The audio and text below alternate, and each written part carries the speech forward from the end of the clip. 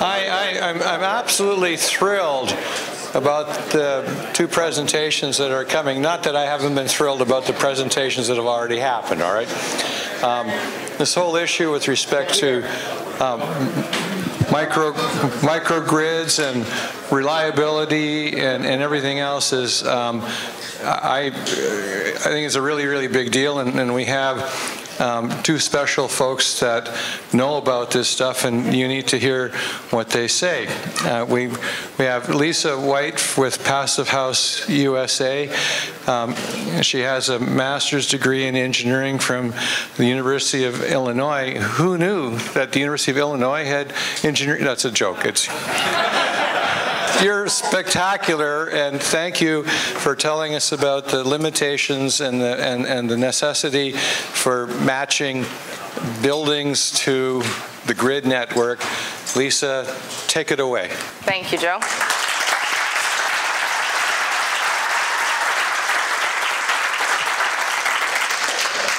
All right, so like Joe said, I work with Phius, uh, formerly known as Passive House Institute US. So why am I talking about the grid?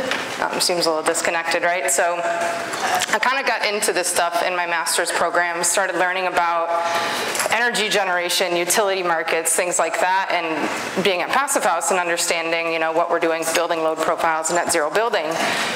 I realized like what we are doing has such a significant impact on the utility markets and the utility and power generation. And we are creating such a transformation in all of that. So what I want to talk about today really is the grid and then our opportunity as building developers, designers, operators, and all of that to help facilitate the change that we're trying to make in the electric grid.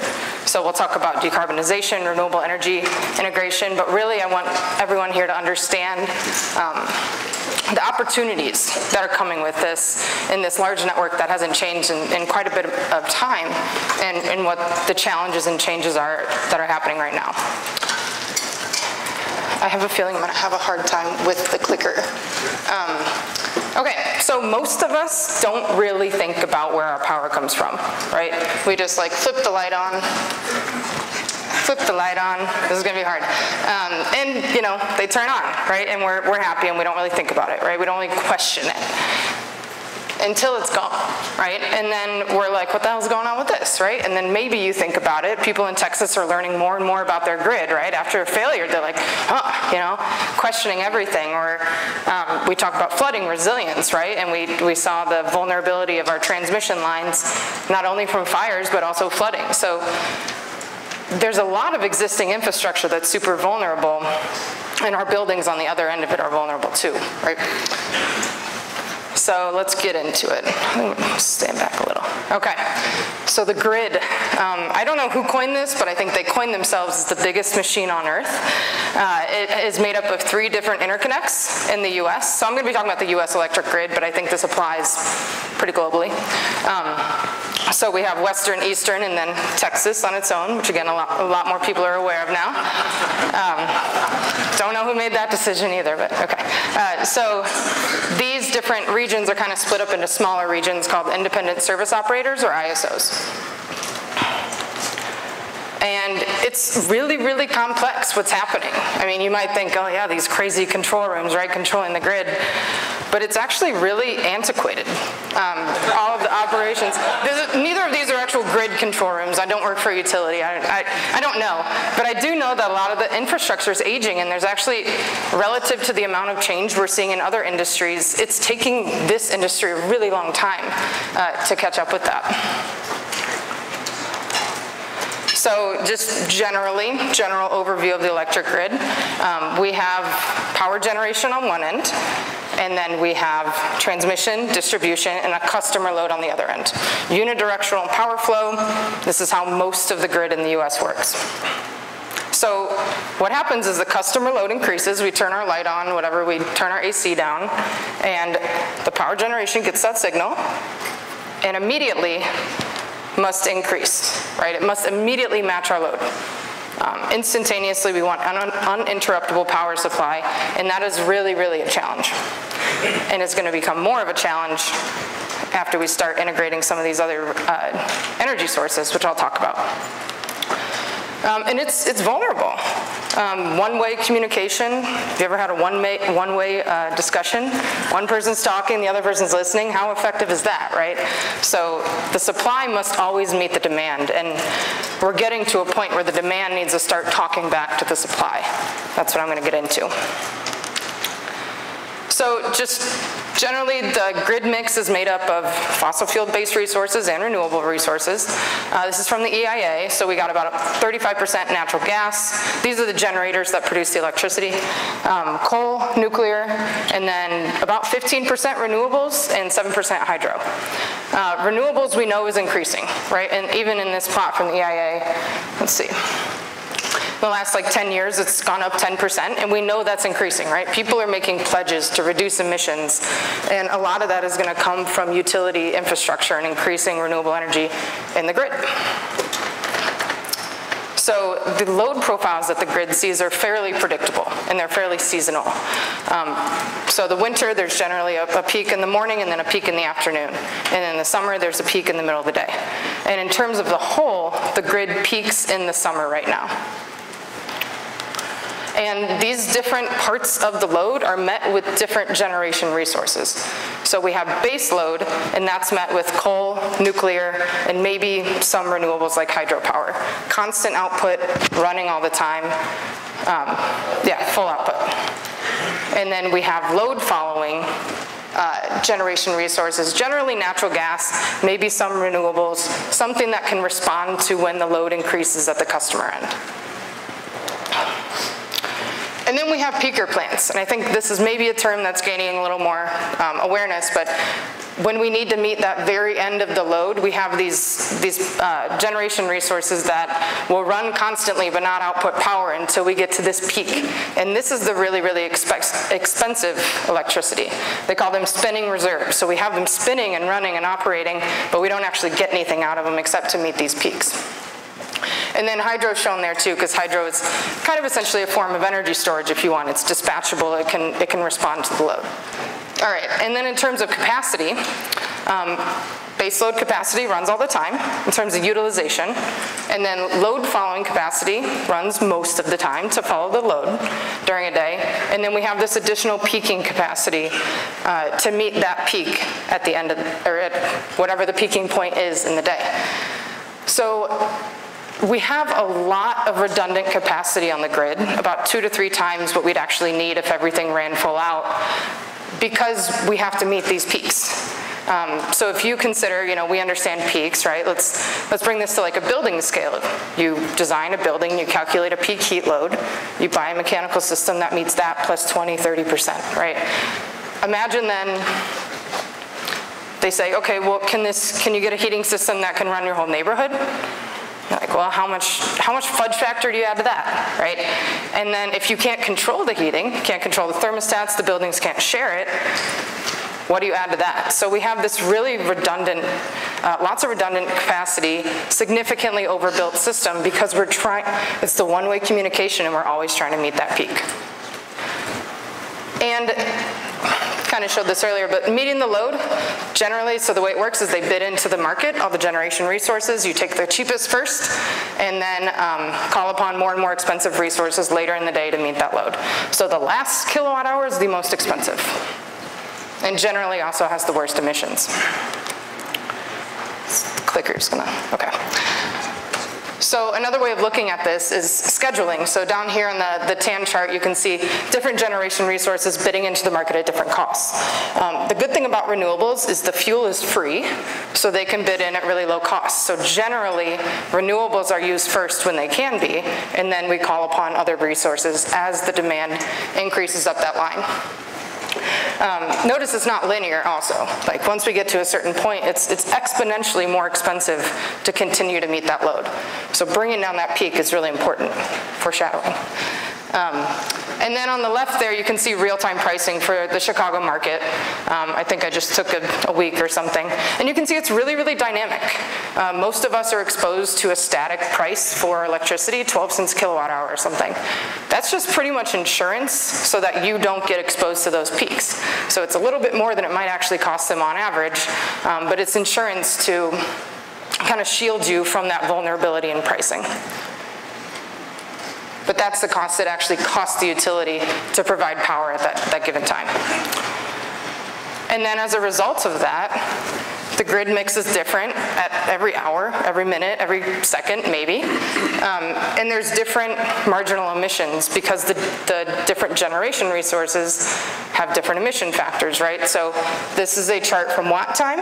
Um, a graph from Watt Time kind of plotting Chicago in 2019, so it's a little old now, but the months of the year are across the top and then the hours in the day on the left.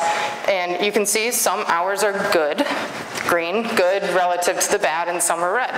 Um,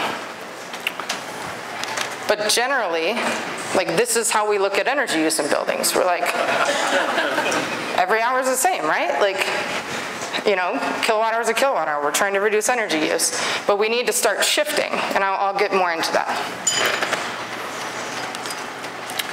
Okay, so getting back to kind of the, the grid mixes and the different ISOs, uh, just to show you kind of how the loads are met in different places in like the existing grid.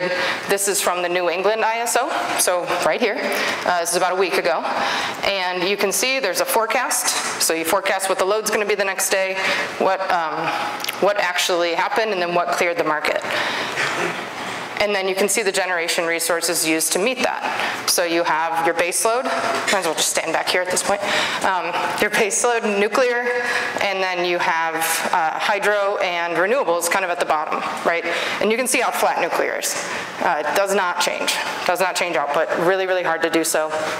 And then you can see natural gas is kind of that load following um, resource.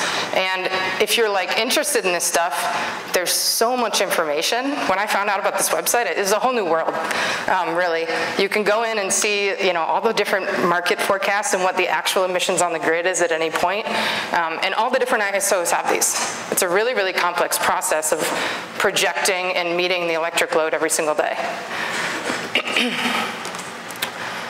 And then this was new since the last time I looked at the website. Um, this is the actual load on the grid in New England, including behind the meter solar. So the solar energy that people have put on their buildings that the utility can't see. So you can see that kind of, it's a much bigger hump in the day than, um, than this load shows us, right? And we'll get into a little bit more of that but they can't see it. So I'm just saying. They cannot see it. They are estimating that this is what people are using. So they're taking past probably load data and saying people are probably going to use this much. We don't know how much solar they have because it's, again, no, no communication there. So roughly this is what we think is being used. And remember, they have to plan for whatever the net of that demand curve is. So the grid's changing. Um, it's antiquated, it's being electrified, it's being decentralized, and digitized. So I'm mostly going to talk about the decentralization and the electrification part. Um, I am definitely no expert on microgrids and all the digitalization and communication protocols between buildings and all of that. But I, I, hope to scrape the surface of some of these concepts for you guys so you can kind of understand the importance of them, the order of magnitude of some of these changes. Um, but yeah, I don't, I don't know too much about the actual digitalization of the grid. Okay, so the, the best example we have right now as an example of a new grid in the US is California. Um, they're ahead of us, right? So here's their demand trend, same day that I showed New England ISO. Looks very similar. Here's the renewables trend, um, shocking. Big sun in the middle of the day. And then here's their net demand. Um, so we're creating this really significant ramp at the end of the day, and most of us know this is the duck curve, or I've heard it called like the Loch Ness Monster curve now some places too, and maybe Hawaii, I think it goes below like the, I don't know, doesn't matter. This is the duck curve, um, and it's creating significant problems for the utility based on the, the resources they have available to meet that ramp. So they don't know when the solar is coming on, especially if it's behind the meter, so they have to shed the generation output that's happening at, their, at the utility. And then whenever the sun goes down, they have to ramp up really, really quickly to meet that load. And the other thing that's happening is congestion on the transmission lines. So this is the same day that we were looking at um, for the California ISO. This is from the California ISO. And this is just, this is congestion happening because there's not enough transmission to get the renewables to the load. That's it. There's not enough wires, or the wires aren't big enough. Um, so we have renewable energy that is just being wasted because the timing isn't right, right? Or there's not enough storage at one end or the other, something like that. So this, this is, I just picked a day, but they all kind of look the same. Did I skip? No. Okay. So then this is kind of just to get you guys looking a little bit past um, what we saw with 2022 in the grid mix. This is from NREL. It's a, called their Cambium model, and this is kind of projecting out um, what the grid mix will be in 2050. So you can see generation on the left and capacity on the right. So capacity is new infrastructure that will generate um, electricity, and then generation is how often that resource is actually used. So if a resource has some capacity and is used all hours of the day, it's going to have similar amounts of generation in terms of the total piece of the pie. So what we are trying to do, or what we need to do, is, be, is basically increase utilization factors of renewable energy resources so that that generation piece of the pie um, is bigger for the renewable energy. Because ultimately the generation, that bucket is what controls emissions. Or not what controls, what, what dictates the amount of emissions that are actually associated with the electricity. It doesn't matter if I have a bunch of PV if it's not being used, right? So we're trying to increase utilization factors of renewables. Um, and you can see by 2050, the projection from NREL, which I think this is from 2020, and this was like with policies in place, this is where we will be. So it's not really guessing, it's just saying if everything plays out and no new bills are signed or no new commitments are made, this is where we'll be. It's a really significant chunk of energy from distributed solar and um, utility solar, and then we have some wind also. So as I'm talking, I want you guys to think about as we transition to a renewable future, which I do believe we are going to with this grid, how do the decisions we make at the building scale impact what they have to do at the other end of the picture, right? We can't just continue thinking in silos. It can't be a one-way communication. Um, I, it's cheesy, we're all in this together though, right? Like, so we need to talk to each other. Um, not just the people, but the, the networks as well. Okay, so on to changes and challenges. There's a decarbonization movement, um, or at least I see one. Uh, net zero buildings are becoming more and more common, and it's great. Um, things are being electrified. Everyone says electrify everything. That's how we're going to get to zero, right? It's great. Um, and we're also kind of with this replacing these dispatchable fossil fueled energy generation resources with variable renewables. So I use those words intentionally. Dispatchable means it can answer to us. If you want to increase it, you can increase it, right? So our fossil fuel resources, most of them can respond. Not most. Natural gas is pretty much the only one that can really quickly respond. But we can't tell the sun when to shine or the wind when to blow, so they're, they're variable resources, not dispatchable. They're not at our, at our wishes, unfortunately. Okay, so I'm kind of going to talk about the challenges with the grid in terms of these three objects. There's a lot going on here, a lot of moving pieces. I'm going to try to stay in the building realm um, as much as possible given the, the time here. Uh, so speaking of time, timing is important.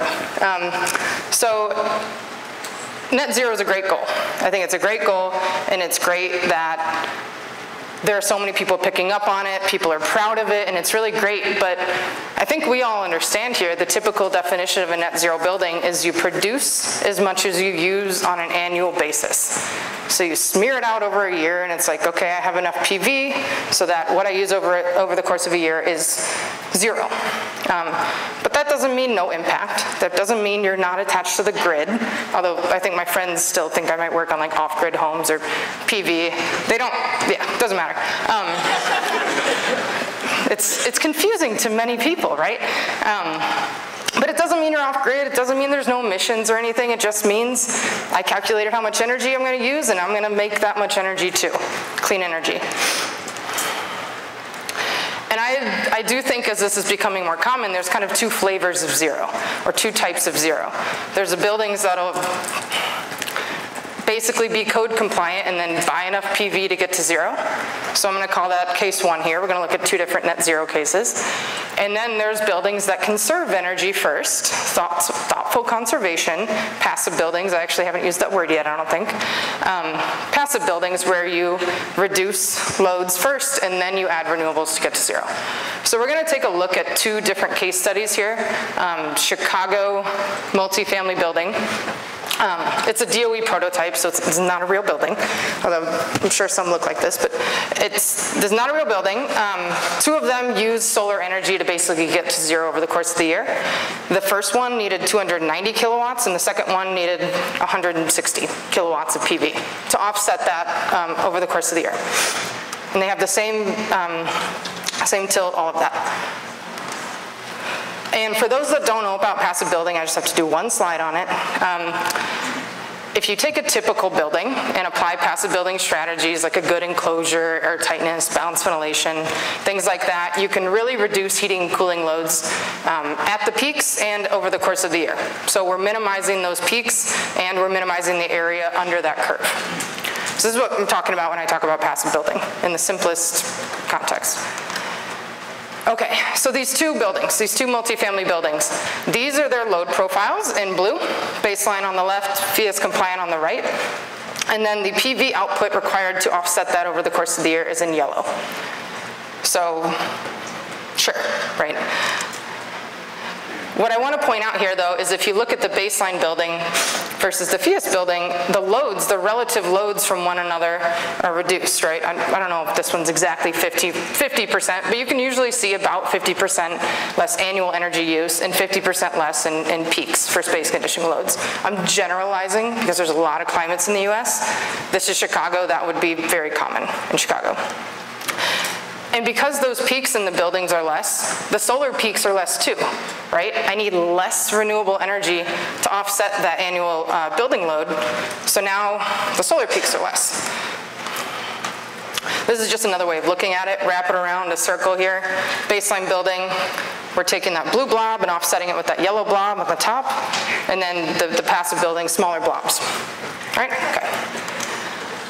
And then you zoom in on a day. I'm beating a dead horse here, but zoom in on a day, and the mismatch between the, the baseline building and the, and the um, the PV production that it has is pretty significant. And then you, you lower the loads, lower the amount of uh, renewables needed to offset it, and they get a little closer, right?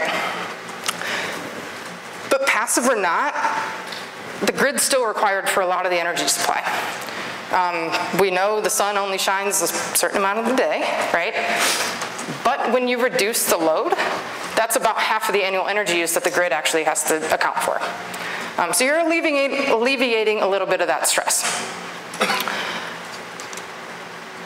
So with net zero buildings, consumers are also becoming producers, right?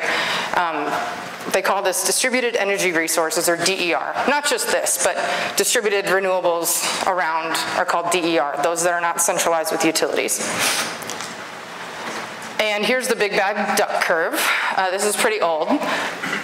But this is Cal the California grid, right? The PV is coming in the middle of the day, so that's, that's what you're seeing in the belly of the duck over here. Um, and then you're seeing significant ramping, right, happening at different points in the day. And this is not just California anymore. So I went and looked at the New England ISO, just looking up duck curve, and I think this is from 2018, and it, it predicts in 2019 that Massachusetts grid would be kind of at the top of that green, that top green dot. It'll have this amount of solar, so this is roughly where the Massachusetts net load is going to be. And then just for fun, I looked at April in the New England grid, and here it is. It's here. The duck curve is here in New England. So the net load is that, that belly of the duck right there, and then the actual use is that yellow line across the top. Significant ramp. I mean, this is not just California anymore. And this is all because of really renewables coming in at the middle of the day. The reason this is really tough is again because the generation resources that we have available to meet that ramp can't meet that ramp. So we have coal, we have nuclear, those don't change. Those don't want to change, they definitely can't change that quickly. So really the only resources that can meet that that quickly would be energy storage, um, that can fully dispatchable, or natural gas. Um, so you, you'll probably see a lot of predictions of the future of as we add more renewables, natural gas will be the one that kind of supports it, follows that load until we can uh, lose reliability on that. But this is really hard also because they're required to meet this load, right? So whatever it costs, this is what they must meet. And they're supposed to turn down generation resources and then turn them right back up. And sometimes it's just literally not physically possible. So looking at the, uh, that same multifamily building in Chicago, um, I need to move faster. Um, this is the, the typical day that people look at the duck curve, March 31st. Um, let's make a community of a thousand of those buildings, that, those multifamily buildings, and then let's start to offset percentage of them with solar energy. So on the left, we have the baseline building, and you can see with no solar energy, kind of follow the, track the top of the curve, um, that's the load. And then as you integrate, okay, 10% of them are net zero, 20%, 30%, 40%, 50%. Um, that's that bottom green line. So you see we're creating the duck curve, right? With that same multifamily building, but with the conservation first approach, saving about 50% of the energy, flattening the peaks, you can see that, again, less renewables is required, so it doesn't bring the duck or the, the belly down quite as much. It's not peaking quite as much. And the ramp at the end of the day isn't quite as significant.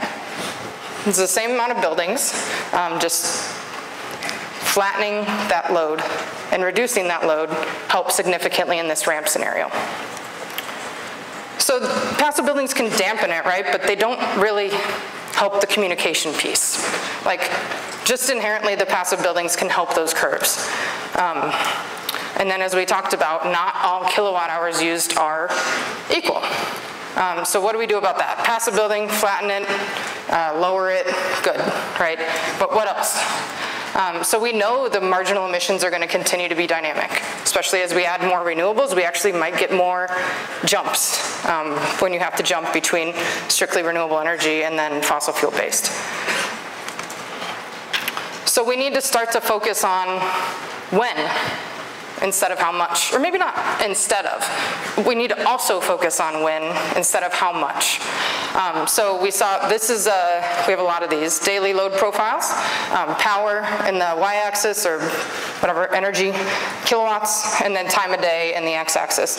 And generally we just think every time we use energy, it's kind of has the same impact, right? So it's a brown color.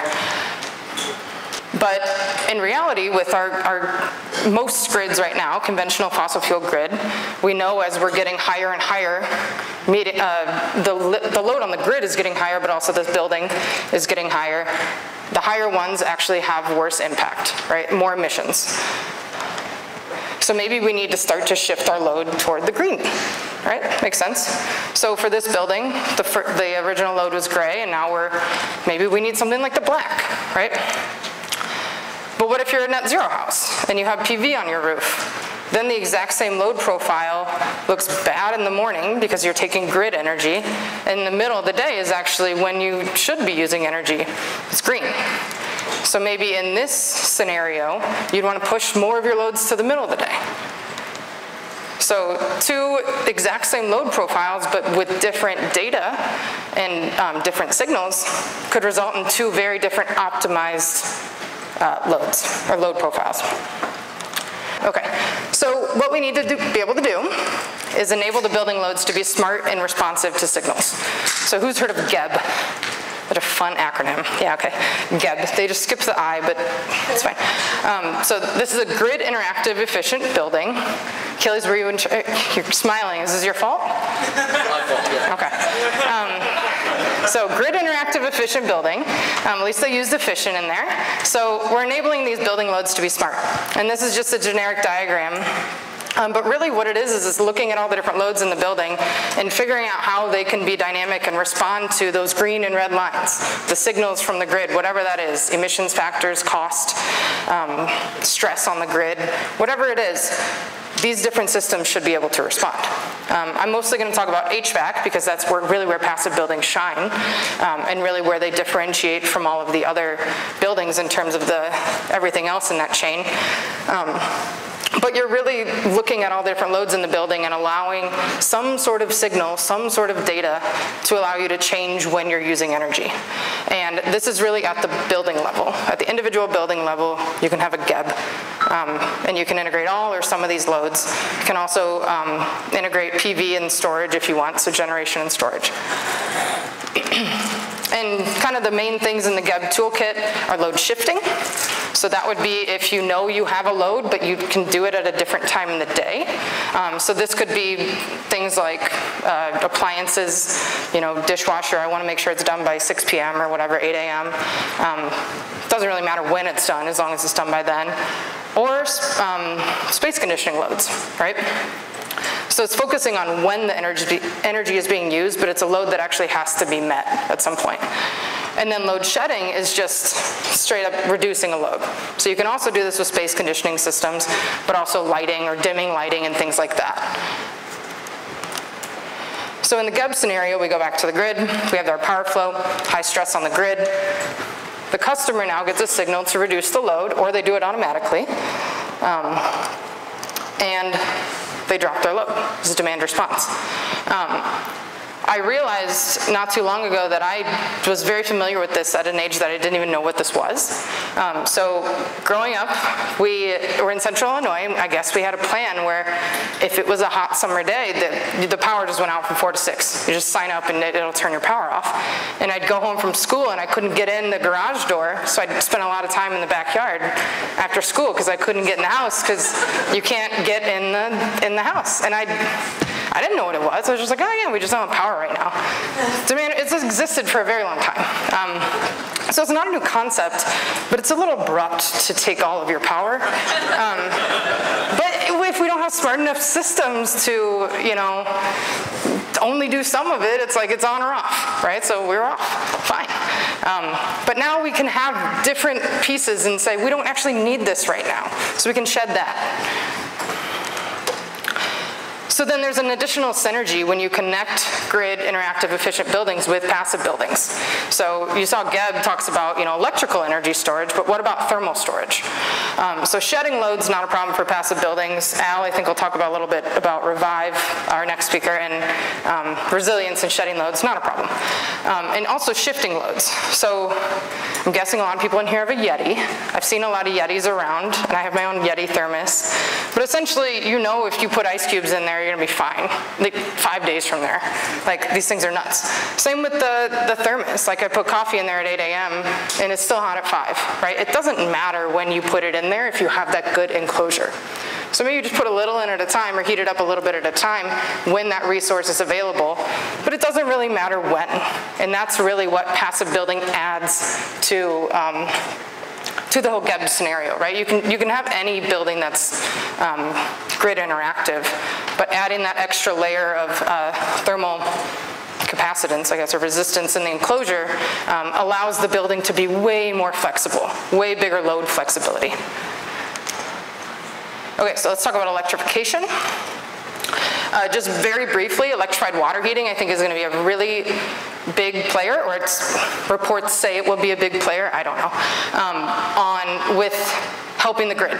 Um, so you can essentially heat the water at different points in the day, not just when the water heater says, okay, we click to a point where we like lost temperature or something like that. So essentially it's additional thermal storage or additional load shifting. And um, I think a recent GEB report said 50% of the, the loads controlled in buildings would be uh, hot water and space heating. So I'm not gonna get too deep into that. Um, but I do want to talk about this. So the peak on the grid is, is changing. Um, it is going to shift to winter, and this is a pretty big deal. We're electrifying heating systems. So right now the peak on the grid is in the summer. Um, there's, yeah, sure, there's cooling loads in the US, but man, are there heating loads, right? So we're electrifying, we're adding heat pumps, um, and we're shifting that whole load of the grid, that peak capacity that the whole grid is sized on, the summer, we're shifting that to the winter, and we know that's higher. At least those of us that live above, you know, the Mason-Dixon line or whatever. Um, we know it's higher, so the heating load is higher. So we're gonna look at two scenarios and how this kind of impacts the grid. So let's go back to a typical versus a passive building. Um, I'm using simple numbers, and I'm also going to maybe talk faster, if possible. Um, so I got a lot of simple numbers coming up, math, charts. I know you guys love it, so just bear with me. Um, so this is a typical daily load, um, the winter load in the morning and then the afternoon. And the typical building has a load of four, peak load of four, and then the passive building, we cut it in half. It's not unrealistic. I think I'm actually being generous here. Um, so then let's step out, and let's say there's three of these buildings. What does the grid see? So we have three buildings with peak, each with a peak load of four. 4 plus 4 plus 4 is 12, okay? And then passive buildings, each with a peak load of 2. 2 plus 2 plus 2 is 6, right? Okay, that's half. And then we add in Geb, and we say, okay, we can shift, I'm not gonna shed any of this load in the passive building, I'm just gonna shift it to a different time in the day so that these don't align, so that the grid isn't seeing the coincident peaks all at the same time. And then maybe we can reduce it to four. I don't know, I'm just making up hypothetical scenarios here, but it's significant. And if you don't believe me with peak heat loads, um, this is just a, a, sample building from one of our optimization studies that was used to set the Phius standards. And looking at two different buildings in Minnesota, single family home, this is an extreme case, Minnesota, but looking at a 2009 Building America benchmark, like not a bad building, and, and then passive building, and looking at the, this is an annual load profile now, uh, the heating load on that bottom. And the difference between the baseline building and the passive building is a factor of three. Like, so this is, two, I'm being generous, okay? So this is, this is significant. And what I want to point out is that a lot of existing buildings that look like that orange line are being electrified right? And if we don't bring them to that green line first, we're going to have we're going to have the exact same problem we have right now with significant um, capacity needs and um, infrastructure needs that are going to cost a lot of money and take a much longer time to roll out than if we first deal with the root of the issue. Okay, into microgrids. I might, I probably won't make it on time. I'll be close. Um, okay, so microgrid. It's not going to get too deep into this. I, I don't know if there's an actual scale that has to be a microgrid, but it's imagine the big grid but smaller. Um, I, I don't know. So uh, the biggest difference, I think, is the concepts and the way it works. So instead of just one-way communication, it's more of a mesh. There's more resilience built in. There's different avenues for power to travel from generation to a load. And kind of some of the key component, components are buildings with grid-enabled loads, so they can be optimized, generation and storage, and then some sort of manager, someone to manage that system, someone, something, some, something. It's not gonna be, not gonna be a person. Um, and maybe EVs, maybe other things. Again, I don't want to shift focus too much from buildings. So we have demand, storage, generation, all that, and a manager. And this manager has a lot of important questions to ask. And I don't know who's going to program these or code these, but um, you have to think if a kilowatt hour is produced within this microgrid, where does it go? But it has the information of all the different building loads that are connected to that. So it might know what the next best critical load is. Um, and in times of excess supply, it can determine, okay, should I, should I put it in this building as thermal storage? Should I store the battery? Should it go in this car?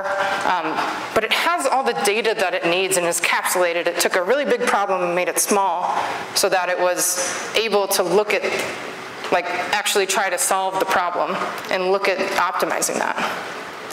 And then if a building adds a new load, how should it be met? Renewable energy, storage, does it even need it? Can we shift it? Things like that. So that's what this manager is going to be responsible for. Oh, yeah, I wasn't going to accept that I was day two, so I couldn't show pets. So this is my dog, Flynn, um, oh, last week. Um, but now we're getting into winter peak, so this is him stern in Chicago um, winter. He loves snow. You can't really tell in that photo, but he does. Okay, so how do microgrids in these winter peaks react? Where's that synergy? Um, so we know the peak's changing. Um, and we're going to look at a couple different scenarios. So we have these baseline buildings. We're, we're talking about this same fake building with the peak of 4 and 2, okay? Um, so we have nine of them now, and they're on a central grid. So they all have a peak heat load of 4. 9 times 4 is 36, okay? That's what the grid's seeing. Now we add the GEB shifting. Two, the peak load is two at any given point because they're like, okay, I'll shift two to the two to the morning and two to the evening or whatever. Whenever they're going to shift it, they're never going to actually reach four because their signal's telling them not to. So the sum of those, 9 times 2, is now 18. And now I have microgrid control. So I have the GEB load shifting, and then I also have someone looking, or something looking over this and trying not to exceed a certain peak. So maybe these three get the load, and then these three, and then these three. I don't know what it'll be, but something like this. Now the peak per building is still two, but they offset each other. And now the grid peak is six. Okay, so you see what's happening here?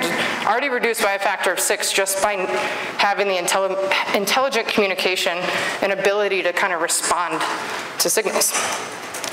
And the biggest difference here between the base or between the middle scenario and the far right scenario is that um, typically utilities will have demand response, but all the buildings are getting the same signal, right, at the same time, or controlling the same thing. So they don't the utility could try to do it, but they don't necessarily have the um, information available to say, do these buildings and then these and then these and then these.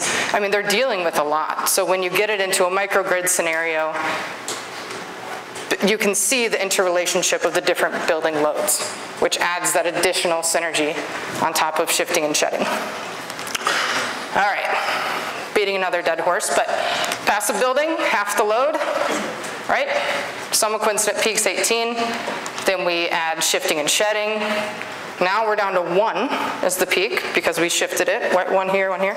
Um, and now we're at nine, and then with the microgrids, again, three at a time, we're at three. So you can see how these kind of tap into each other, right? You start with the baseline building, centralized grid, everything's coincident, nothing's talking to each other, nothing's responding. And then you add these elements of passive and controls and a centralized system that manages all of that, not at the grid level, but at the microgrid level. And we can reduce that by a factor of 12. Again, these are made up numbers, but you get the picture, I think. I hope. If not, I, am not quite sure what else to say. Um, Okay, I'm pretty close to the end. Uh, other benefits, uh, just that it don't show up in winter heating loads, so let's maybe step away from that for a second. Um, we have the vulnerable transmission, right? So microgrids bring the generation closer to load. We don't have to rely on all those existing lines. Um, long, long, I mean, we saw vulnerable to weather, vulnerable to age, vulnerable to not being able to actually carry the load that it needs, right? So bring it closer, solve it that way. Uh, resilience. What if a line goes down? What if there's a fire? What if there's a flood? Um, you can intentionally island this group of buildings and they can provide their own resilience. Um, improving resource, renewable resource utilization, so improving the utilization of when that renewable energy is available, because again, it can get the signal of when it's available, aligning the demand with the supply.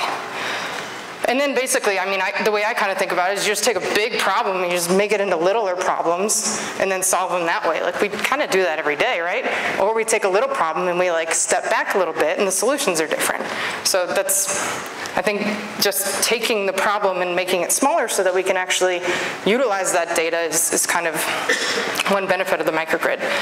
And then energy independence, um, something that I think is going to be more of a concept just not relying on vulnerable fuel prices or, you know, I won't get into that, but less vulnerability to the central utility, um, to fuel prices of, across the world, things like that. Um, being able to generate and use that energy when it's generated and have a system that allows you to do that.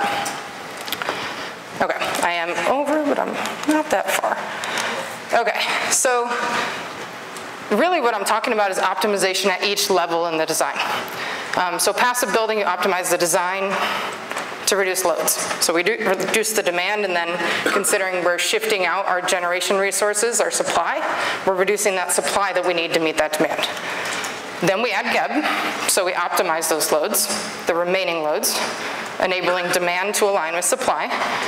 And then the microgrid kind of takes all those smart buildings and optimizes them all together with new generation and storage, maybe electric vehicles, things like that. So optimizing supply and demand to maximize the infrastructure and minimize emissions, hopefully. Some oh, microgrids don't need renewable energy. Maybe I should be clear about that. It can be any energy supply, but I think a lot of them of the future will be mostly renewable energy. Okay, and then the biggest synergies is when you tap into each, right? Combine them all together.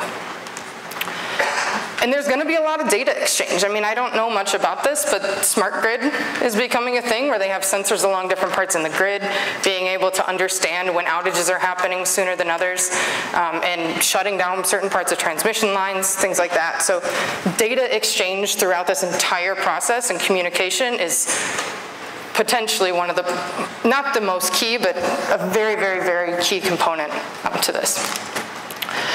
Okay, final uh, countdown here. So as the grid load increases right now, generally what we do is we call on more resources, right? Just turn them up, turn the power up. Um, if we start with passive building and we, we reduce loads first, we can bring that down, bring the generation resources we need down. If we do GEB, we could bring that down even further. That's the wrong graphic, that's okay. So is that, huh, okay. Um, that's okay.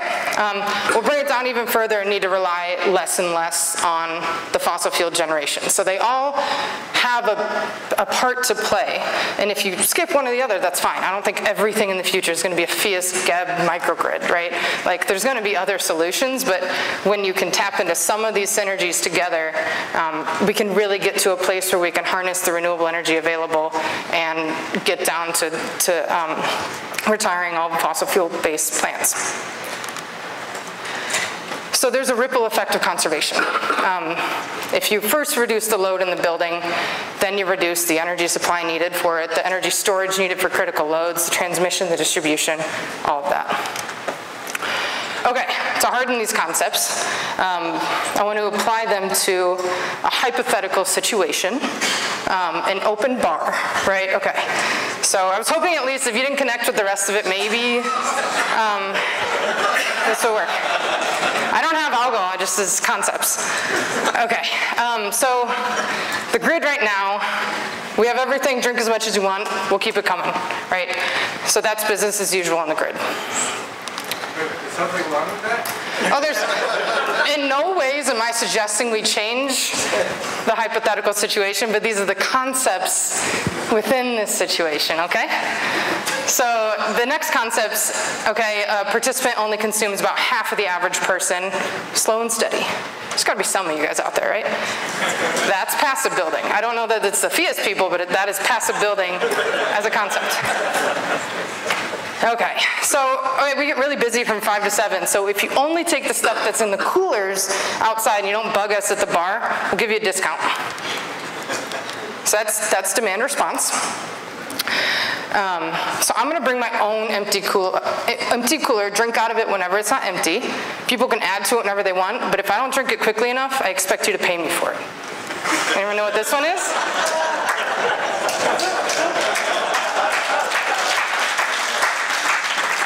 Um, okay. So if our taps run slow, we'll ask you to drink less, politely, periodically. But if they run fast, we're gonna, we're gonna hook you up to the tap and you're gonna drink real fast. That's GEB, kind of. And the last one, we're gonna give you a keg, a tap, cups, and we're gonna put you in the corner and you can just distribute it amongst yourselves. Um, don't come to us unless it's gone. That's a microgrid, yeah, someone got